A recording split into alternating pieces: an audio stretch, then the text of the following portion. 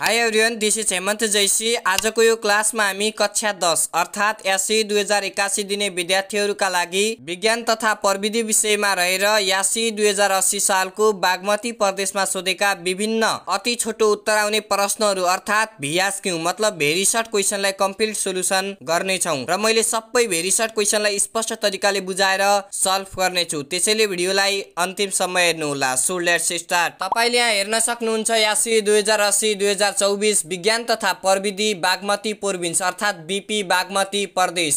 खण्ड ख section be जसमा भियास क्यौँ अर्थात् भेरी सर्ट क्वेसन नौवटा सोधिन्छन्। प्रत्येक प्रश्नलाई एकादरले अङ्क बाँडिन्छ। यसरी जम्मा अङ्कबार नौ रहनेछ अब एन्सर कसरी लेख्न सक्नुहुन्छ त्यो मैले यहाँ छोटो रूपले सेयर गर्दैछु। तपाईँले यहाँ हेर्न सक्नुहुन्छ। जस्तै मैले क्वेसन नम्बर टूको एको एन्सर लेख्दैछु भनेपछि यस प्रकारले। अर्थात् प्रश्न नम्बर टूको ए उत्तर अर्थात् यस प्रकारले हामीले लेख्न सक्छौँ। यसरी सेन्टरमा कुन क्वेसन सल्भ गर्दैछु वा कुन क्वेसनको एन्सर लेख्दैछु भन्ने कुरा स्पष्ट तरिकाले लेखिदियो भने एन्सर सिट सफा देखिने भएकाले तपाईँले आफ्नो आवश्यकता अनुसार यसलाई युज गर्न सक्नुहुनेछ। अहिलेलाई भने हामीले बागमती प्रदेशमा सोधेका विभिन्न नौवटा भेरिसट क्वेसनलाई सल्भ गरौँ। प्रश्न नम्बर ए कम्प्युटर मेमोरीको सबैभन्दा सानो एकाइ कुन हो? कम्प्युटर मेमोरीको सबैभन्दा सानो एकाइ कुन हो भनेको छ? प्रश्न नम्बर टूको ए उत्तर बिट। अब हेर्दैछौँ हामीहरू प्रश्न नम्बर बिलाई।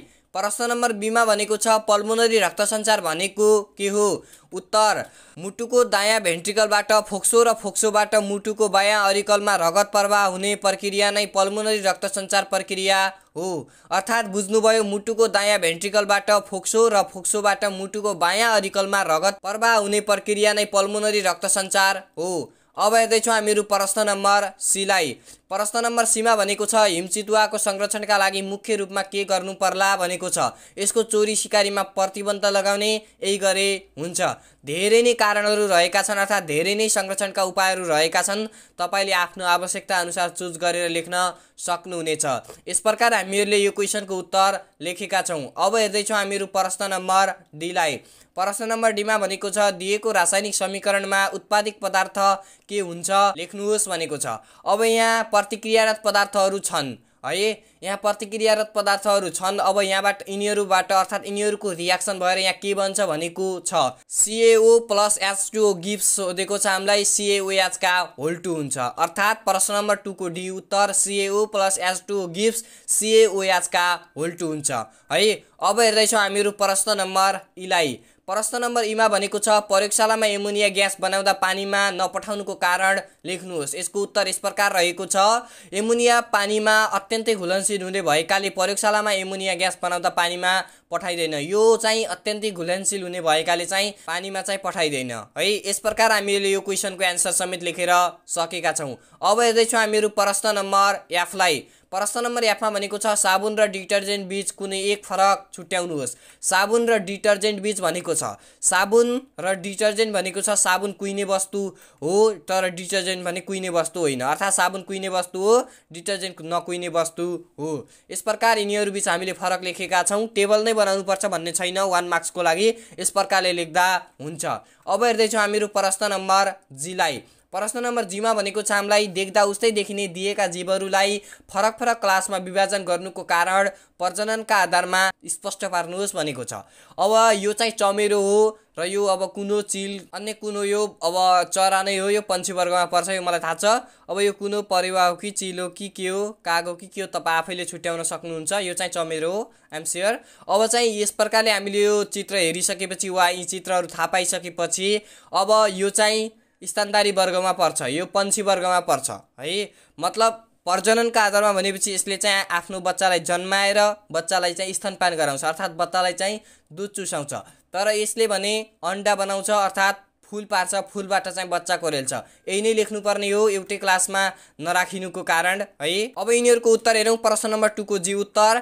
चित्र एकको जीवले बच्चा जन्माएर दुध चुसाउँछ तर चित्र बिगमा भएको जीवले फुलबाट बच्चा कोरेल्छ त्यसैले देख्दा उस्तै देखिँदा भए तापनि फरक फरक क्लासमा विभाजन गरिएको छ। अब हेर्दैछौँ हामीहरू प्रश्न नम्बर एचलाई।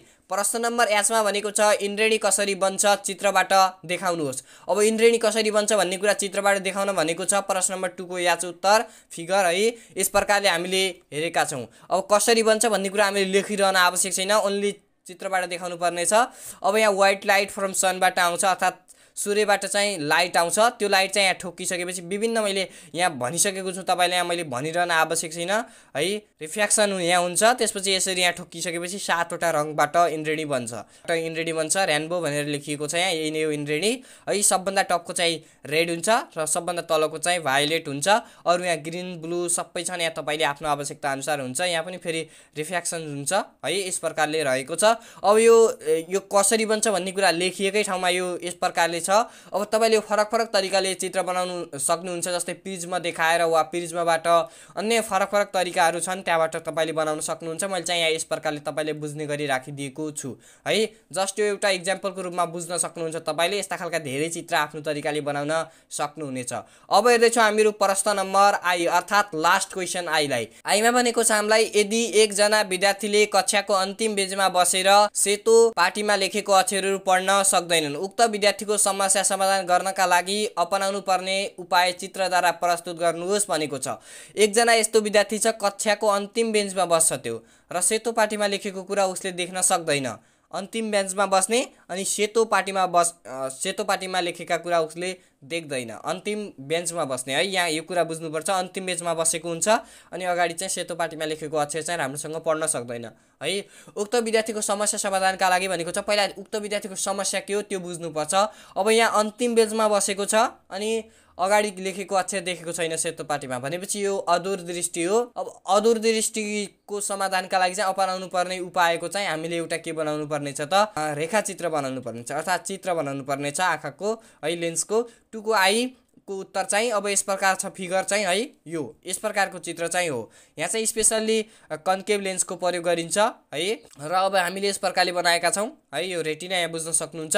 यसरी हामीले यो रेखाचित्र बनाएका छौँ तपाईँले यसलाई आफ्नो तरिकाले बुझ्न सक्नुहुन्छ र यो परीक्षामा आउँछ है। वान मार्क्समा पनि आउँछ यो सायद एमसिक्यूमा पनि सोधिदिन सक्छ। र टु मार्क्सको लागि त झन् यो धेरै नै आवश्यक छ किनकि यो हुनुको कारण र यसको समाधानको लागि रेखाचित्र बनाऊ भनेर स्पष्ट तरिकाले सोध्न सकिन्छ। So be careful this is very important for SEE examination two thousand eighty one and also this is very important for long questions long क्वेसनमा किन अब इम्पोर्टेन्ट छ भनेपछि यो चित्र राखिदियो है समस्याको। यो समस्या कुन हो भनेर सोध्यो वान मार्क्समा यो समस्या आउनुको दुईवटा कारण भनेर त्यहाँ दुई मार्क्समा अनि वान एक तिन मार्क्समा र एउटा यो समस्याको समाधानको रेखाचित्र बनाऊ भनेर सोधेपछि कति भयो त फोर मार्क्स भयो। यसरी यो सोध्न सक्नेछ। यस प्रकार आज हामीले एसी दुई हजार अस्सी सालको बागमती प्रदेशमा सोधेका विभिन्न नौवटा भेरी सर्ट क्वेसनलाई सल्भ गरेर सकेका छौँ। यदि तपाईँलाई कुनै जिज्ञासा रह्यो वा कुनै कन्फ्युज रह्यो भने तपाईँले कमेन्ट गर्न सक्नुहुनेछ। आजको लागि चाहिँ मैले यो क्लास यहीँ इन्ड गर्न चाहन्छु। त्योभन्दा अगाडि तपाईँलाई एसीको शुभकामना धन्यवाद नमस्कार। अर्को क्लासमा तपाईँसँग भेट हुनेछ।